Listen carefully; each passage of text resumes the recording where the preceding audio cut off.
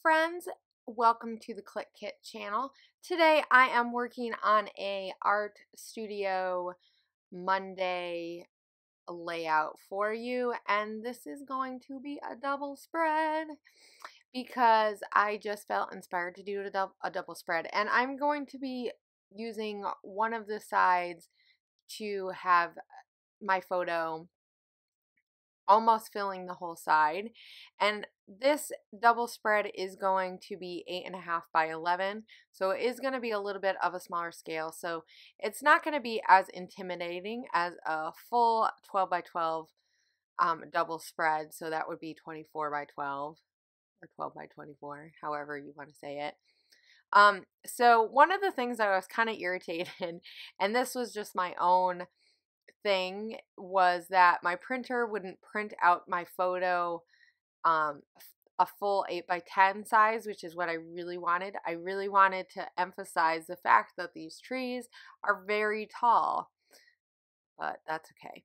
So it still is an amazing picture and turned out uh, the printer really did a good job this time. Sometimes my printer doesn't always like to do a good job on full size photos, but it did on this one. And so I just left a little bit of the top and the bottom of that paper from the sorbet kit, and that's the May kit that I'm using.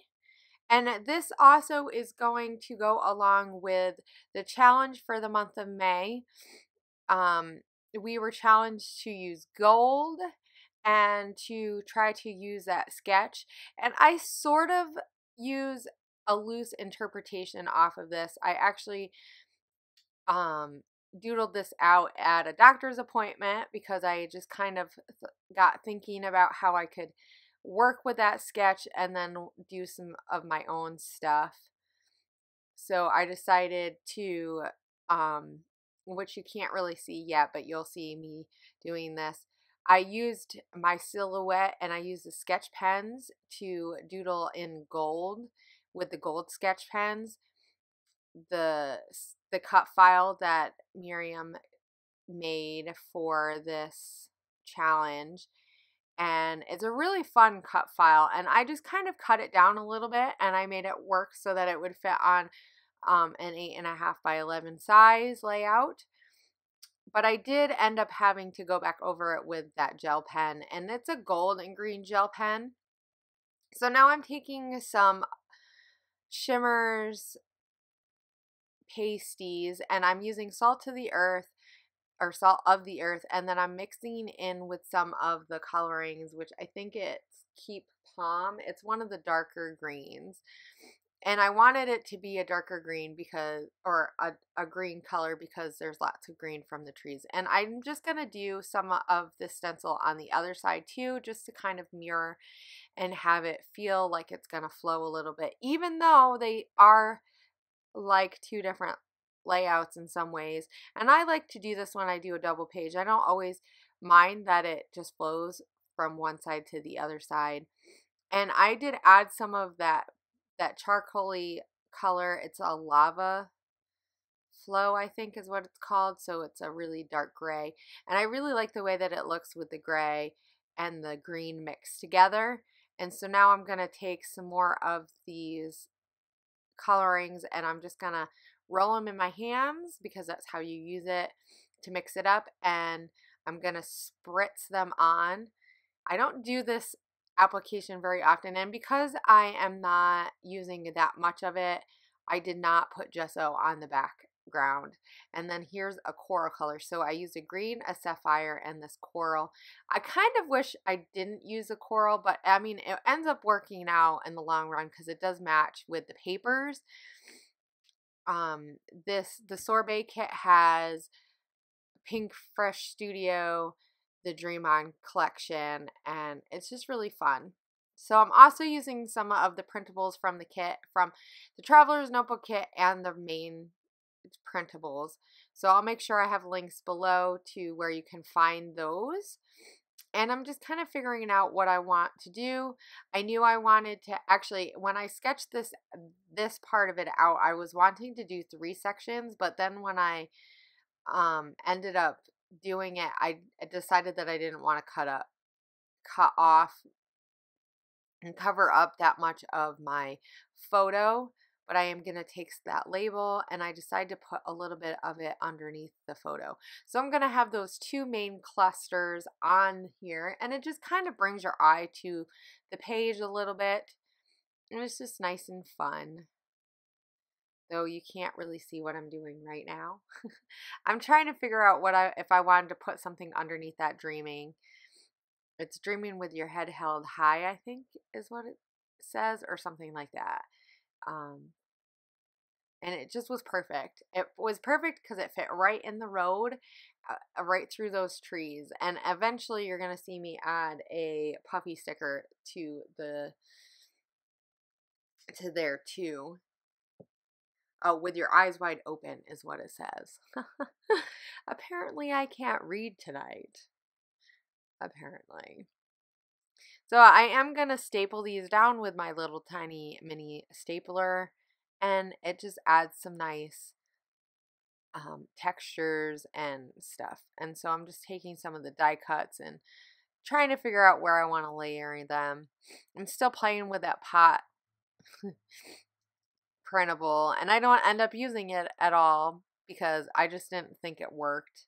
I am going to cut out some of these circles in that pattern in the printable with the leaves that match the die cut leaves. There's that is a super cute pattern. And so I'm just kind of building some stuff over here, figuring out how I want to layer it. I mean, I wanted to keep it simple because I want you to be able to see the photo. I don't really want to cover much of it up, but I did want a little bit of something, and I do add some of this on pop dots so that it's dimensional and it lifts off and you can just really see the shadows and everything. I will apologize right now for the lighting. It was very sunny when I was taping this and there's it just I didn't it just gets worse as the night went on. As my afternoon went on, just the way the sun was coming in. Sometimes there's not much you can do about it, but I think for the most part, the sun isn't right on what I'm working on. So hopefully you don't have too much of a problem. And then I add that exclusive flare to my page. I really like it. I kind of like how there's just these few little elements all together. And this layout took a little bit more than an hour to do the whole thing. It was probably closer to an hour and a half just by the time I got done waiting for everything to dry. And all these con- these printables um and cut aparts and everything from that are exclusive and are the digital files. They're just super fun to play with. So I knew that I wanted to add one section where I was going to put my my journaling and have it be the main spot. So this side doesn't even have any photos.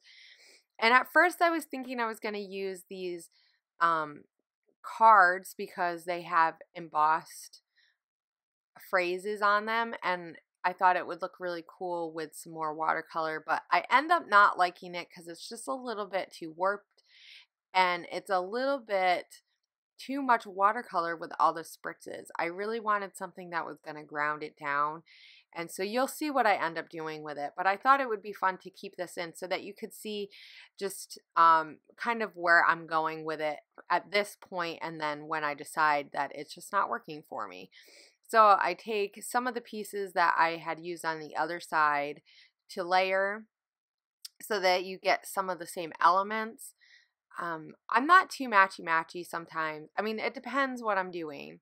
But I also have some of these triangles, so I'm going to add those right to the triangles where the cut file, where I had used that. And it just looks kind of fun. It's just this aspect of, of it that is just fun. And a lot of them I put on pop dots. So I'm trying to figure out where I want to put that circle with the bird. I decided that I would use the bird because, I mean, this is a layout about nature and that drive that I have to make very so often. And and I thought about using that to border part of my layout because I was not really sure if I'm liking the fact that this is really it's pretty warped because I sprayed quite a bit of media on it. And I was thinking that it might need something else to kind of like just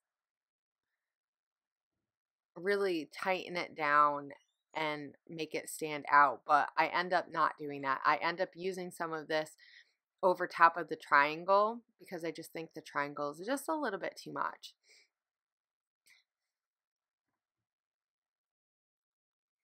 So now I am taking just some paper from my stash that is a wood grain and I added this because I really needed some, I really wanted something to ground it down and I knew that I could use part of it to um, use to journal on.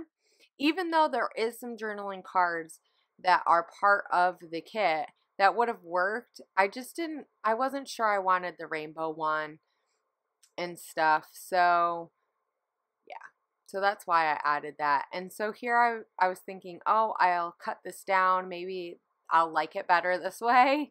And I'll add it, add some um, dimensional and just kind of layer them. And I really like the way that this looks as far as the the shadows that it creates and the dimension and stuff. It really works with the media. But it's not going to stay that way. So here I take that little scalloped and I'm going to add that. It just, it adds an extra color on there. And so here I go adding these. Oh, I, so I do end up using that. I could have swore I didn't use that, guys. Isn't that funny how I did use it and I forgot? I do like that mint color though. Those are really, really fun. Maryam uh, designed those and she's one of our design team members, and she's amazing. So now I'm working on the title, and if you remember the sketch, her title was under, or she said she had it underneath, but I decided to put it above because I put the that whole journaling uh, layered aspect just down a little bit. So, and because this isn't a 12 by 12, there isn't as much space anyway. So I'm going to use these little Doodlebug um, alphas to spell out my is an in. So it's going to say my head is in, oh, it should say in the clouds, but it just says my head is in the clouds. That's okay. I forgot the. Isn't that funny? See, this is why we do voiceovers and we look at our layout. But I am going to add these hearts that are on the board alphas. And then I ended up using that card and I had some of those mirror um, add-ons. So I'll make sure I put the add-ons in below so that you can find out what add-ons are still left so you can add them onto your kit so you can get them in your kits. I know that they're going to be shipping out soon, so you'll be getting your kits, and I know you guys are going to love them. I can't wait to see what you guys make with the kits this month, the this May kit. It's just really, really fun. It ended up being really versatile. At first, I wasn't sure. Like, there's lots of elements that I knew that were going to be fun, but I was kind of surprised at how many layouts that I just started thinking of that I could do. And they all just look way different from each other. So I'm adding these puppy stickers with the flat, or not the flowers. They have the birds with the circles and um, I'm adding them because I already have that other bird. So it just kind of adds something else that repeats, and that's really fun when you're doing, um, especially a double page layout, that you have elements that do repeat. So it does kind of, like, it doesn't have to be total matchy matchy, but it ends up tying things together. So here are the close-ups, and you can see how it looks, and it actually looks so much better than with the that bright light shining on it. And you can just see all these goodies. I really love how it turned out. It's super, super fun, and I had a lot of space to journal. And so I hope that you guys check out the challenge so that you can play along with us this month and you can use the sketch and use these digital files that are available. So I'll see you guys later and I hope you have a great week. Bye.